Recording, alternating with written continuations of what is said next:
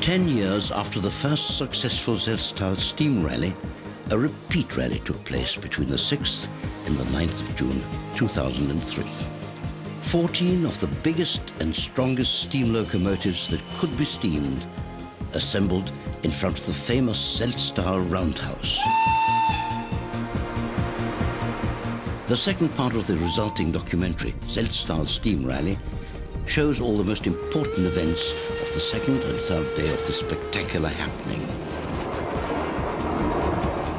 Our helicopter team and I shall accompany you on many of the special trains during those two days.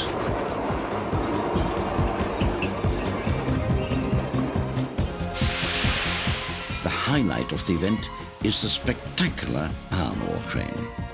20 full hopper cars, carrying 54 tons each, are hauled over a ruling gradient of 10 per mil by two electric locos class 1020. They are jointly developing 8,000 horsepower.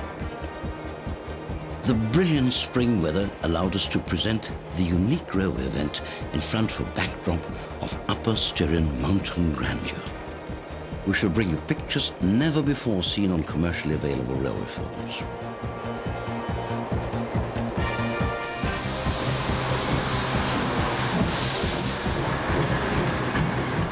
The Seltzthal Steam Rally 2003 Part 2, a railway experience without peer.